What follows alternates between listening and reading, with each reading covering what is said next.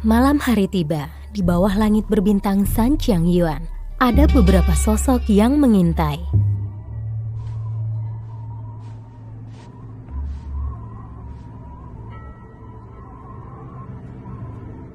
Predator yang lapar menyerang ternak yang dicintai para gembala.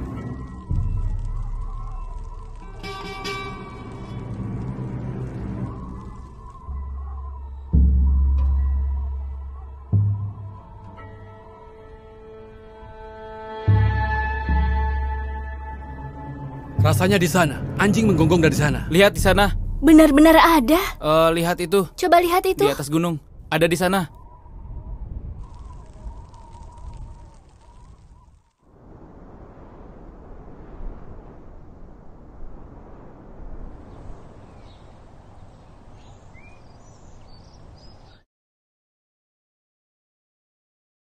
Oh, halo saudara. Seekor sapi di rumahku mati. Apa kau ada waktu untuk memotretnya? Uh, iya, iya, aku bisa. Jaraknya jauh atau tidak?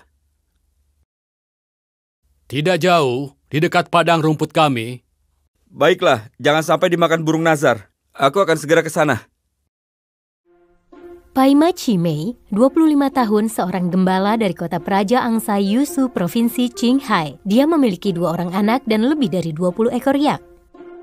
Sejak tahun 2020, Paima Zimei memiliki pekerjaan baru. Dia menjadi asisten asuransi ganti rugi untuk asuransi kematian ternak yang tidak disengaja. Setelah menerima telepon asuransi, Paima Zimei langsung pergi. Dia tahu seberapa pentingnya ternak bagi para gembala dan keluarganya. Dia harus pergi ke lokasi kejadian secepat mungkin untuk mengonfirmasi kerugian para gembala.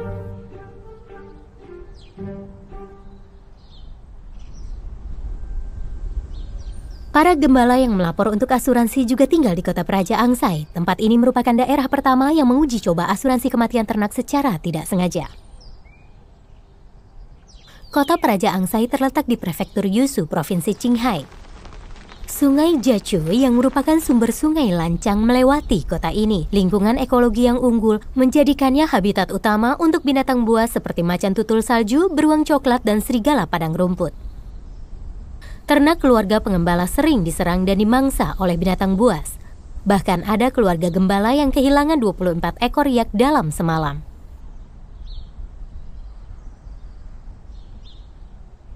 Kalau tidak, pindahkan ke sana sedikit. Sepertinya lebih baik jika dipindahkan. Ayo.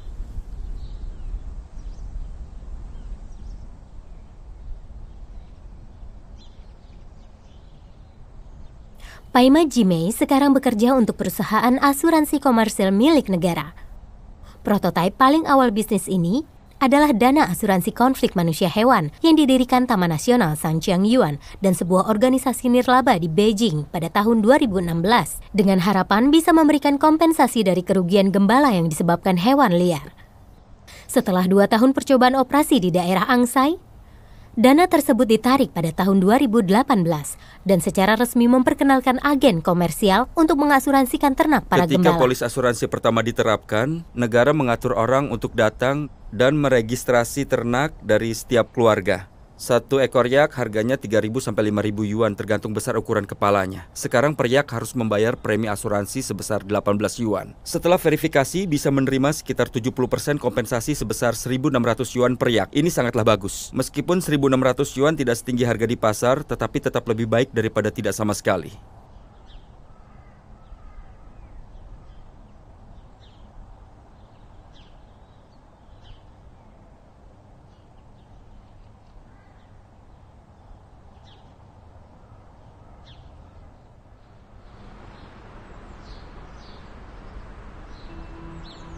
Lembah sungai di desa Niantau, prefektur Yusu adalah tempat tinggal keluarga Tong Chai secara turun-temurun.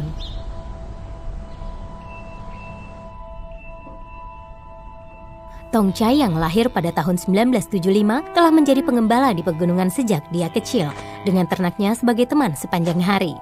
Meskipun kini semua anaknya sudah meninggalkan rumah untuk bersekolah di kota. Tong Chai masih bersikeras menjaga rumah leluhurnya, tidak rela meninggalkan segala hal yang telah sangat dikenalnya.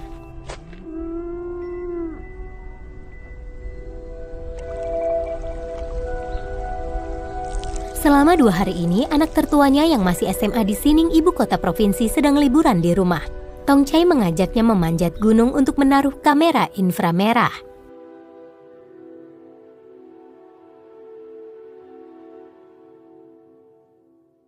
Anakku, bangun. Ayo. Hari ini kita akan memasang kamera inframerah.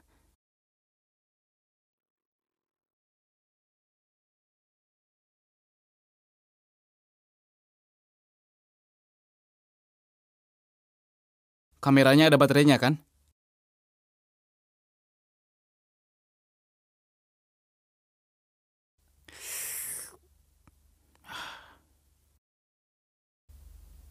Ide memasang kamera inframerah di atas gunung membangkitkan minat putranya Angwen Chiumei.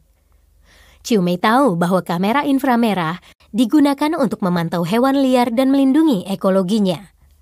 Yang membuatnya bangga, ayahnya masih menjadi pelindung ekologi di Taman Nasional Sanchiang Yuan. Pekerjaan ini tak hanya memberikan pendapatan 20 ribu yuan lebih per tahun, tapi juga menjadi kehormatan dan sebuah misi bagi Chiumei. Setelah sarapan, ayah dan anak siap pergi.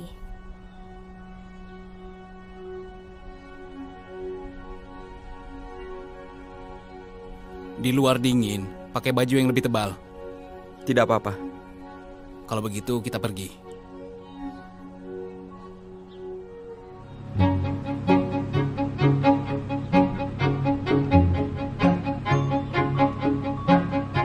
Saat menyetir di gunung, Tong Chai selalu melihat ke kiri dan kanan jalan. Ketika dia melihat sampah di pinggir jalan, dia akan berhenti, mengambilnya dan menyimpannya di mobil. Lalu akhirnya membuangnya ke tempat sampah yang berjarak 35 km dari rumahnya. Tong Chai telah lama melakukan ini sebelum dia menjadi pelindung ekologi. Dia sudah melakukannya selama lebih dari tujuh tahun. Ingatlah, untuk selalu melindungi lingkungan saat kau pergi keluar. Jika kau melihat sampah, ambillah. Ketika ayah dan anak itu tiba di kaki gunung, pelindung ekologi lain dari desa yang sama, Taijun, sudah menunggu lama. Taijun seperti Tong Chai, mengelola kamera inframerah di Taman Nasional. Aku berencana memasang kamera inframerah hari ini. Kau juga di sini. Sekolah sedang libur. Iya, sedang libur. Menurutku, lokasi gunung ini sangat bagus. Sepertinya ini tempat terbaik untuk memasang kamera inframerah.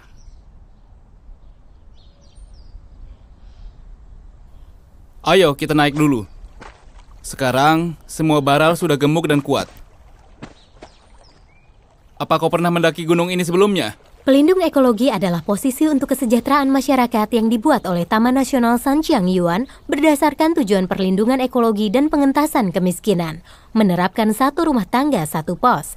Memastikan ada satu orang dari tiap keluarga gembala yang dapat bekerja. Setelah dilatih secara profesional, mereka melakukan patroli harian, membantu mengawasi, menegakkan hukum, dan memantau ekologi dan pekerjaan terkait lainnya juga memperoleh pendapatan stabil.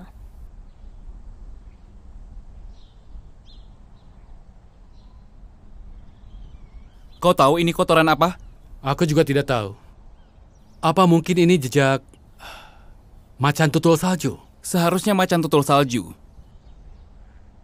Mereka aktif di daerah sini. Iya, Seharusnya macan tutul salju. Sepertinya baru kemarin. Sepertinya dia sering lewat sini. Ada banyak jejak kakinya di sini. benar. Macan tutul salju sering melewati jalan gunung seperti ini. Dipasang di sini tidak. Kalau tidak, kita pergi ke jalanan lain di dekat sini. Boleh juga. Kita coba lihat ke sebelah sana. Yang barusan pasti kotoran macan tutul salju. Cuacanya sangat baik hari ini. Tong Chai memberitahu Chiu Mei anaknya, walaupun ada jejak macan tutul salju di sini, sudut kameranya kurang luas. Dan ada banyak informasi yang dapat terlewat. Sering ada binatang buas yang beraktivitas di gua seperti ini. Ada suara dari dalam gua. Tidak akan ada binatang buas di dalamnya, kan? Tidak tahu, ada jejak macan salju di luar gua. Jalan ini seharusnya adalah jalur wajib bagi macan tutul salju. Aku juga merasa begitu. Kameranya di sini saja, lokasinya sangat bagus. Baiklah, pasang di sini. Baik. Sepertinya akan hujan. Ayo cepat dipasang. Apa dari sini ke sana bisa terekam? Iya, aku rasa bisa. Dan sangat memuaskan. Dari atas sana, apakah bisa terlihat? Bisa, sangat jelas. Kadang-kadang bisa memanjat batu. Apakah terlihat? Bisakah terekam? Bisa, bisa. Oh, iya ya. Bagaimana dengan sebelah sini? Yang di sebelah sini juga bisa? Sebelah sana juga terekam dengan baik. Hmm,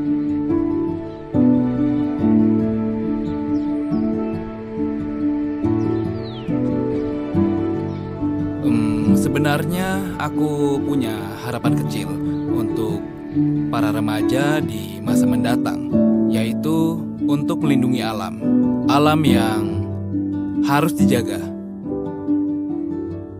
Aku sendiri berpikir bahwa eh, sebenarnya manusia dan hewan eh, bergantung eh, pada alam untuk bertahan hidup.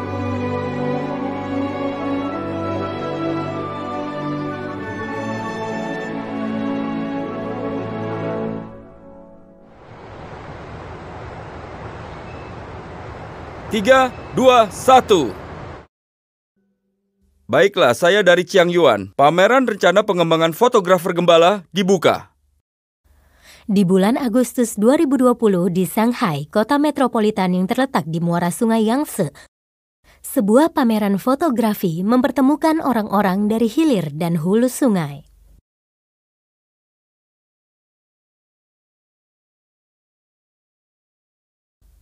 Orang-orang terkejut mengetahui bahwa foto-foto menakjubkan ini dipotret oleh para gembala.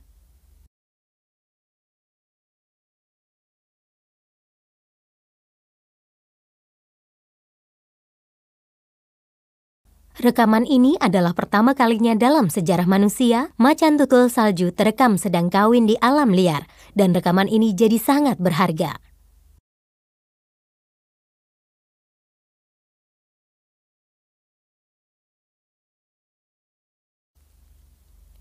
Fotografer yang mengambil rekaman ini adalah Chiu Peng, seorang gembala dari kota Praja Angsai Yusu, Qinghai, yang duduk di sebelahnya Chiting dan Ta Chie. Mereka juga fotografer gembala dari kota Praja Angsai. Mereka terlalu sering melihat macan tutul salju sampai tidak terhitung. Lalu Citing dan Tachie masing-masing pernah menyelamatkan macan tutul salju. Mereka bahkan langsung memeluk macan salju itu karena menurut saya kamera mereka tidak bagus. Kemudian saya berpikir kalau mereka diberi peralatan yang bagus, mereka akan memiliki kesempatan untuk merekam dengan lebih baik. Menurut saya, foto itu dapat membawa masyarakat lebih dekat pada alam dan bisa membawa lebih banyak gambaran tentang dataran tinggi Qinghai Tibet dan Taman Nasional Sanqiangyuan pada masyarakat. Ini adalah gerakan positif bagi perlindungan hewan liar di Tiongkok.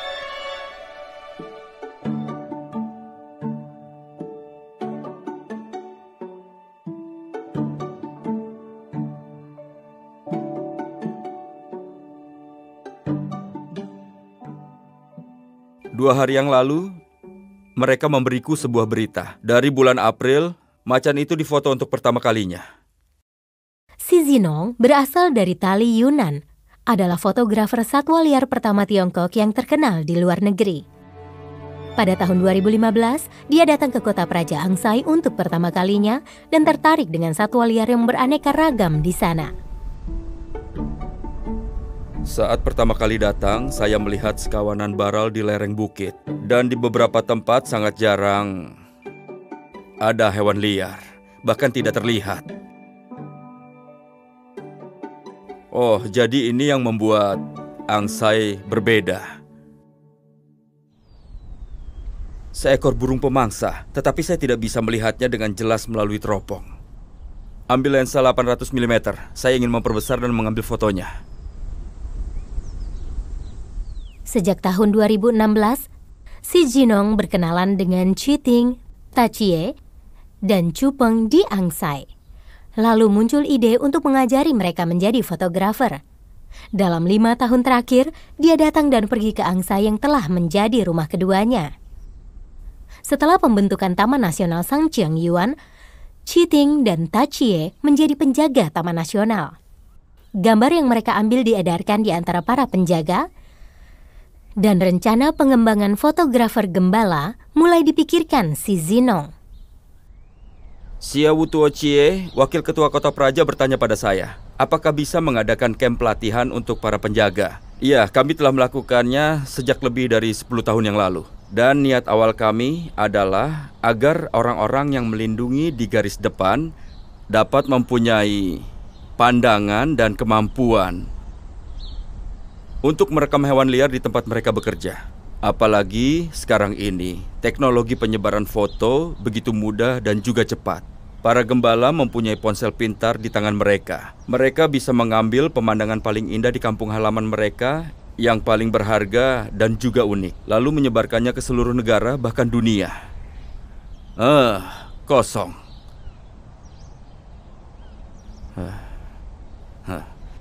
Tidak bisa, S1 per seribu tidak cukup. Apa anti guncangannya sudah dinyalakan? Anti guncangannya mati. Nyalakan anti guncangannya. Hah. Makanya aku bilang tidak seharusnya begini. Coba lihat, apakah kestrenya masih ada atau tidak.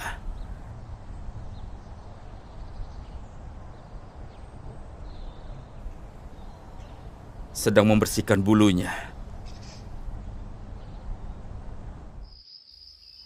Dinamiknya cukup bagus kan? Matanya juga cerah. Benar kan?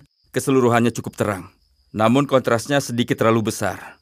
Hanya kurang sedikit saja. Dan fokusnya sedikit lagi, fokusnya di tengah. Jadi setiap saat, fokusnya harus pada mata. Kameramu diarahkan ke mata.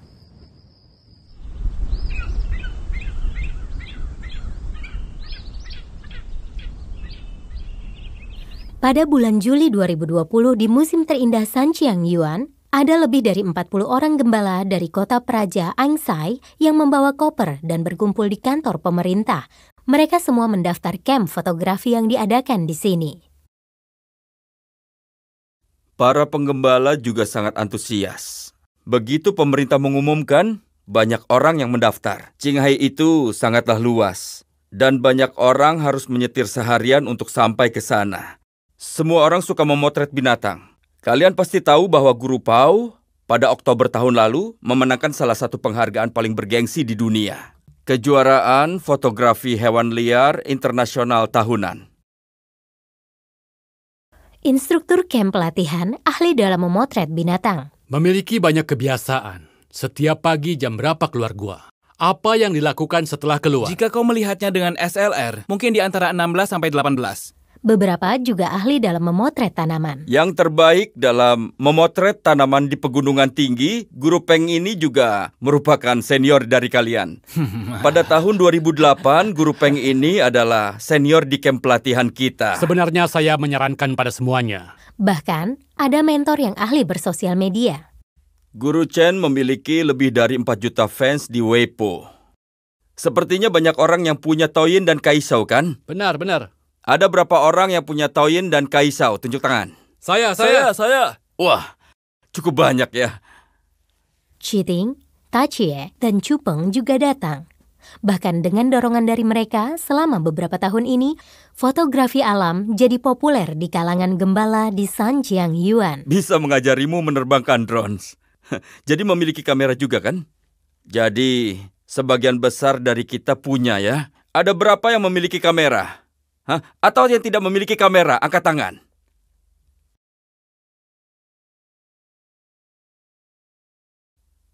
Di antara penjaga yang mengikuti pelatihan kali ini ada lebih dari 20 orang yang sudah membeli peralatan. Mereka juga memiliki motor dan juga mobil.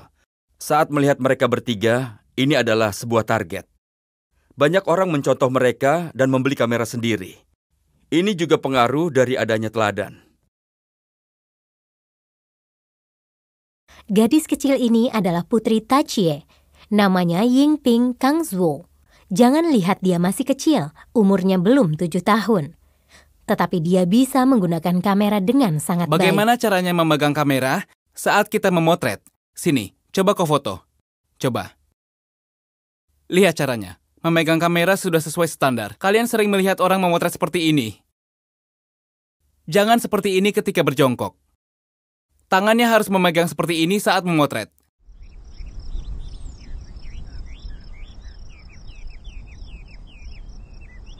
Setelah satu setengah hari belajar teori, para peserta camp sangat antusias untuk belajar memotret di lapangan. Ah, awan di sini sangat bagus dan kita akan fokus di sisi sini. Cahaya di tempat ini sangat bagus. Gambarnya akan sangat bagus. Sangat bagus.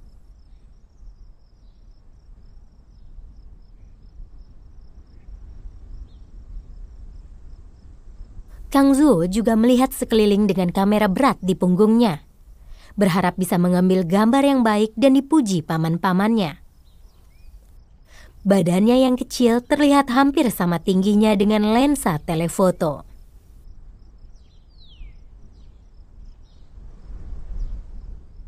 Jika hasilnya sangat bagus, mungkin kau harus memilih 10. 10 lembar. Ya, benar, benar. Benar.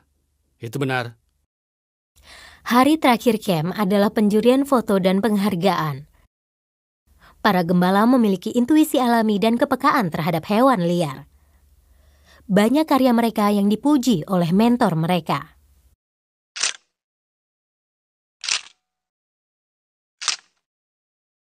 Kongka, Zongsong, Geli, Di tengah upacara penghargaan, ekspresi Kang Zuo semakin berat. Dan wajah kecilnya tegang. Dia mengira dirinya tidak mendapat penghargaan dan hatinya sedih. penghargaan semangat anak. Begitu mendengar dirinya memenangkan penghargaan semangat anak, air matanya mengalir. Kang Zuo, ayo naik, ayo naik. Oh, jangan menangis sayang, ayo naik. Ayo. Ada apa Kang Zuo? Ada apa? Hah? Oh iya ya. Coba kau lihat ini. Belum lulus TK, sudah dapat sertifikat. Bagus ya. Haha ya. Selamat ya Kang Zuo. Selamat.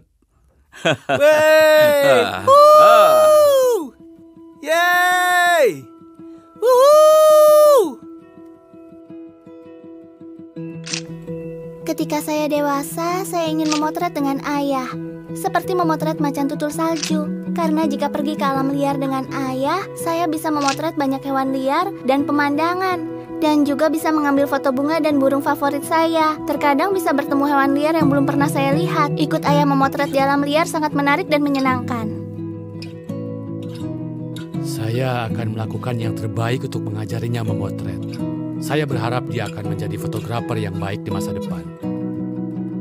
Tidak hanya sekedar memotret gambar yang bagus kan? Gambar-gambar ini juga bisa menyadarkan lebih banyak orang untuk melindungi alam. Ini adalah harta warisan. Kang Zuo susah memanjat. Kalian berdua bantu tarik dia. Ait!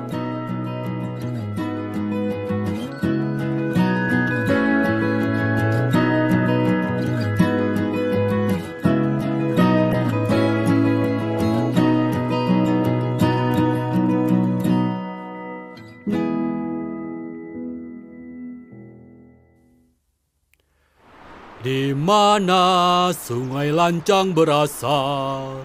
Di situ kampung halaman tercinta kita.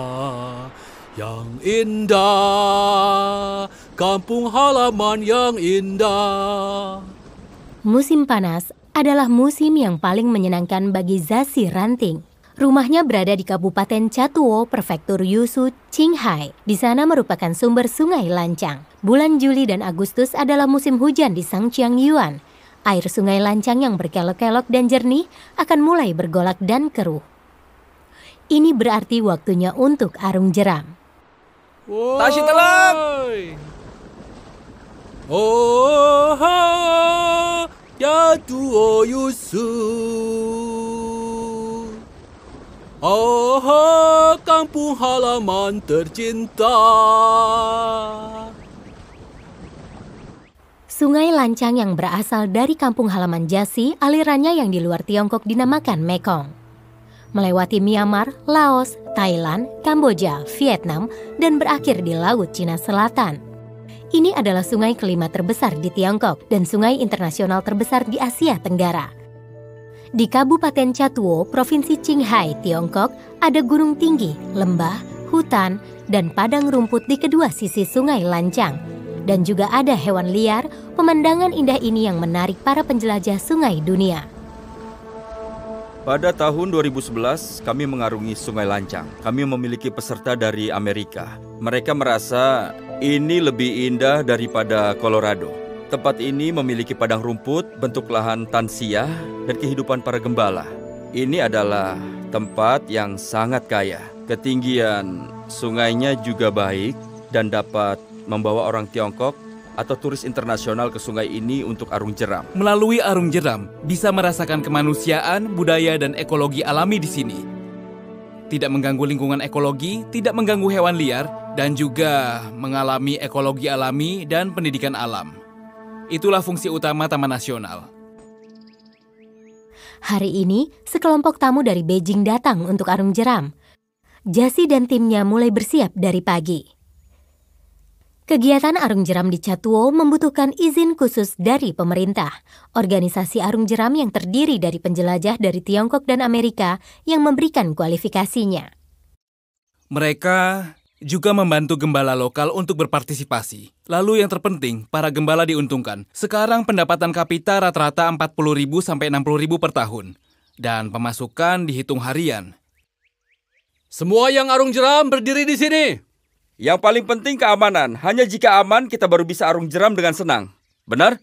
Kita harus ingat, tombol yang di bawah perut, tombol yang kecil adalah tombol yang paling penting. Di bagian atas kalian harus bernapas. Harus bernapas jadi bisa lebih longgar sedikit. Bagian bawah tidak terpengaruh dengan napas, bisa ditarik lebih ketat. Kalau tercebur ke dalam air, kami akan melemparkan tali dan menarikmu mendekat. Lalu menarik jaket pelampungmu. Maaf, jaket pelampungnya longgar. Kemudian kau terlepas, lalu kau bagaimana? Benar kan? Tidak aman. Jadi jangan pernah katakan aku kepanasan, mau kulepas. Itu sama sekali tidak boleh. Tan Chian Chong sudah terlibat dalam arung jeram selama lebih dari 20 tahun dan pemegang rekor beberapa olahraga sungai. Pada tahun 2018, dengan dukungan Taman Nasional San Chiang Yuan, Tan Chiang Chong membantu pembentukan institusi arung jeram lokal di Chatuo dan melatih pemandu arung jeram lokal secara profesional. Arung jeram itu adalah ekowisata, tidak menimbulkan polusi dan tidak merusak. Itu adalah nol emisi. Jika bisa ditarik ke sini, itu merupakan hal yang sangat baik.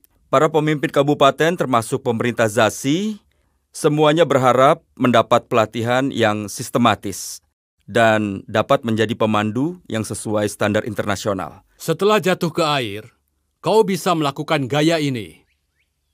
Kaki mengarah ke hilir dan ujung kaki diangkat.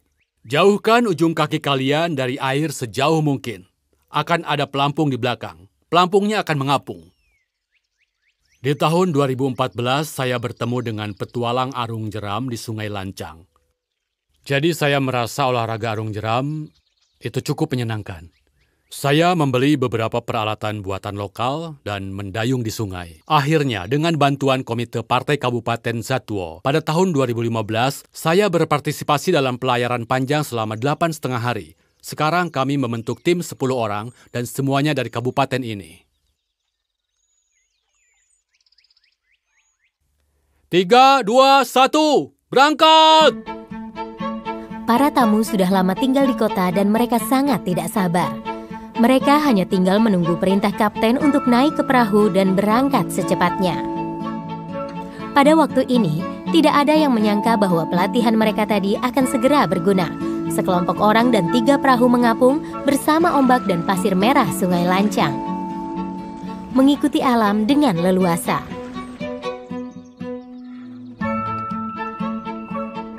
Jika kalian mau, kalian boleh duduk di ujung perahu. Letakkan kaki kalian di depan dan pegang talinya. Ya, benar. Semuanya boleh. Ya, begitu.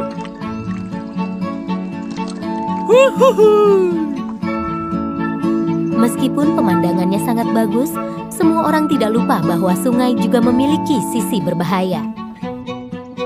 Pada saat ini, kapten menjadi pilar harapan bagi semuanya. Kemampuan kapten membaca air akan menjadi dasar keselamatan bagi semua penumpangnya. Di depan, kayu.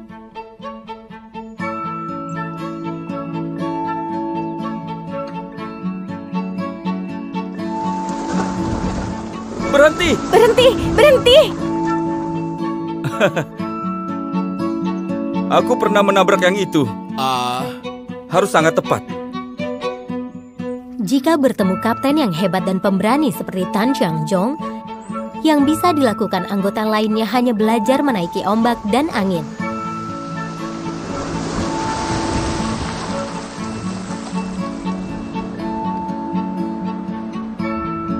Yang ini kan? Iya benar. Ini tidak besar, tidak besar. Tidak masalah. Kayu maju, kayu maju. Oke, berhenti. Ini adalah pengalaman yang belum pernah dialami mereka. Setiap kali melewati jeram yang berbahaya, mereka jadi makin bersemangat. Indah. Uh. Wuh. Angkat ke atas.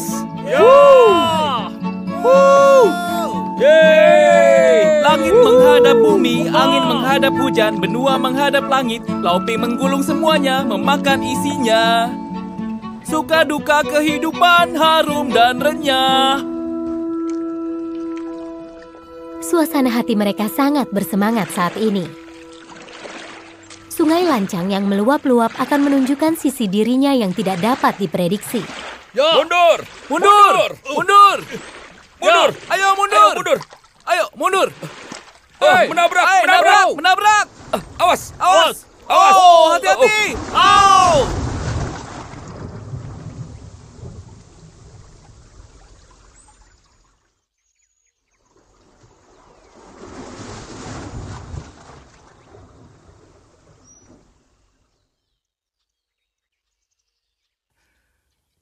Berbaring. Ayo berbaring.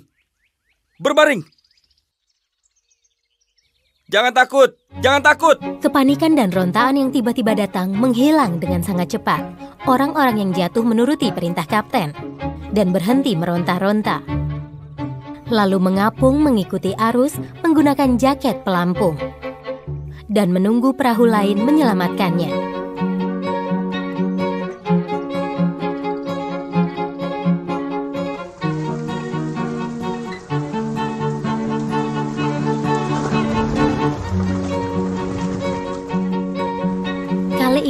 Beruntung. Aliran air di tempat perahu terbalik tidak begitu bergolak. Ketika perahu kapal ini perlahan mendekati jeram berbahaya, ujian arung jeram yang sebenarnya baru dimulai.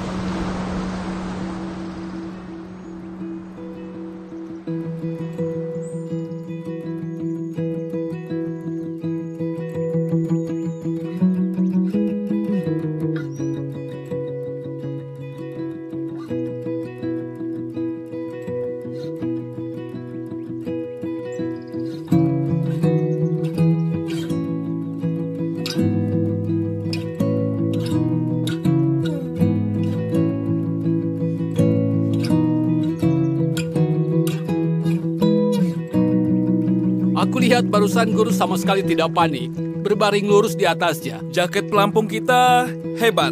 Ini hanya berjemur di bawah sinar matahari sambil mengapung di air. Ini disebut mengambang di Beijing, mengambang di Sicahai. Ke sini, ke sini. Satu, dua, Ayo, tiga. sangat menarik. Sangat menarik. Sangat menarik. Ya, Jika kau lelah berarti kau meronta terlalu keras di air. ya benar. Harusnya kau jangan panik. Dia ketakutan tadi. Gugup, gugup. Asal kau tahu ya, kau tidak mendengarkan ajaran pelatih dengan baik. Ah! Dari kota kecil Kesang sampai desa Tuona, selama empat jam arung jeram, semua orang terfokus pada sungai. Tidak hanya menikmati keindahan sungai lancang, tapi juga merasakan kekuatan alam melalui interaksi dekat dengan air sungai.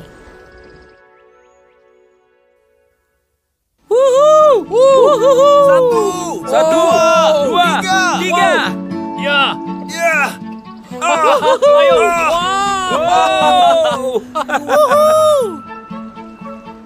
Setiap kali melakukan arung jeram di Zadwo, keterampilan arung jeram makin diperkuat. Kami juga akan mengajak beberapa anak muda atau pelajar lokal agar mereka juga bisa jatuh cinta pada arung jeram dan merasakan alam kampung halaman mereka. Ketika saya berumur 75 tahun dan sudah pensiun, saya akan mulai mengajar dan berbagi pengalaman pada anak-anak muda. Biarkan mereka bertemu orang-orang dari seluruh dunia dan seluruh negeri, kemudian menunjukkan gaya sungai kita. Makna dari arung jeram bukan sekedar berperahu, tetapi apalagi yaitu agar manusia dan alam berkembang dengan harmonis.